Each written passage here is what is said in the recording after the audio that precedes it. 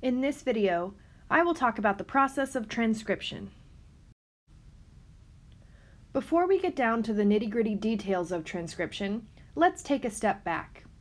Why do our cells want to go through this process of transcription? It is all about making a protein. Your DNA contains units called genes, and these genes have in their sequences of nucleotides the instructions for building a protein. There are two major steps for being able to use this information in the DNA to build a protein.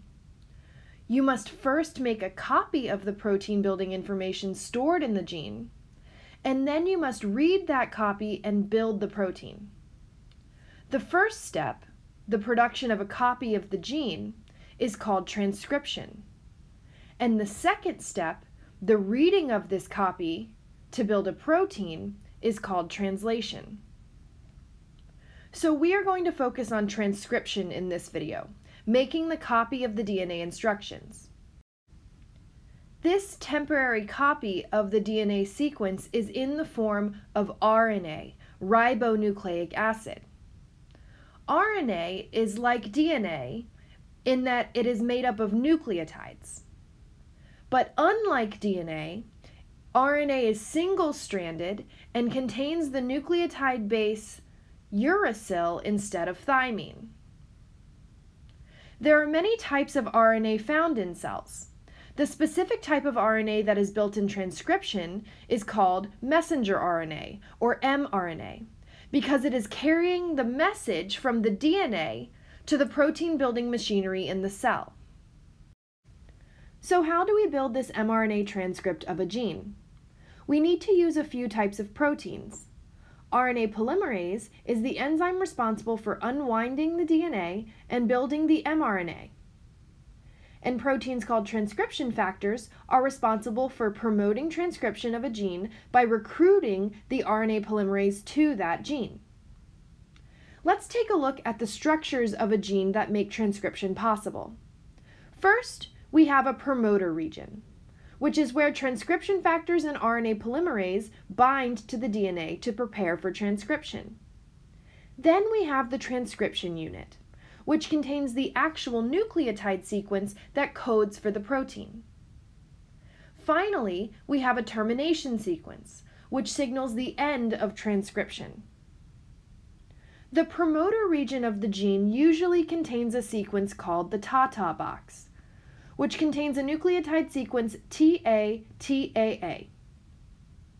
This TATA box in the promoter is where some of the transcription factor proteins will bind to the DNA.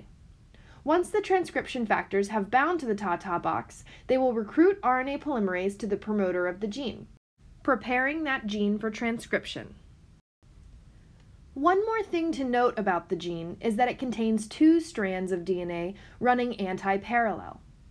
One strand holds the nucleotide sequence that acts as the instructions to build the protein. This is called the coding strand. The other strand is called the template strand. To make a strand of mRNA that is a copy of the coding strand of the DNA, the mRNA will be built complementary to the template strand.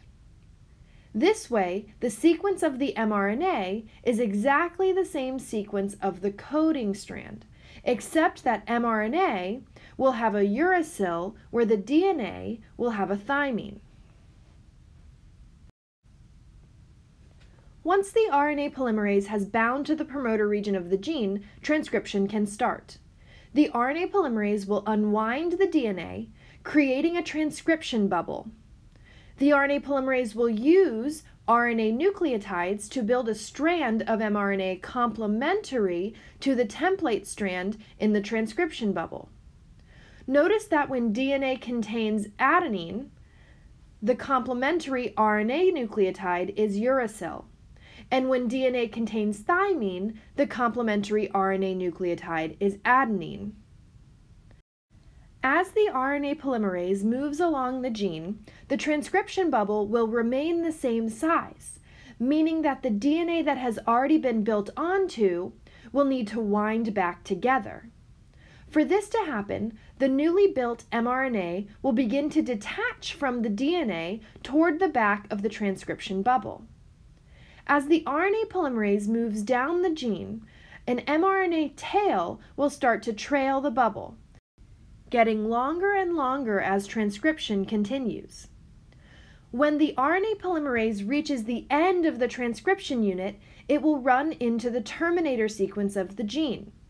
This sequence of DNA causes the RNA polymerase and the mRNA to detach from the DNA, and the remaining transcription bubble winds back together. Notice that the original DNA strand is left completely unaltered from its original state. At this point, the RNA polymerase has created an mRNA version of the coding strand of the gene. And this mRNA can now leave the nucleus and enter the cytoplasm of the cell, where it will go through the process of translation to build a protein. So that was the process of transcription. Our cells use transcription factors and RNA polymerase to make an mRNA transcript of a gene, which can then be translated into a protein needed to complete a task within the organism. Please see my video on translation to watch this process go all the way through to the creation of a protein.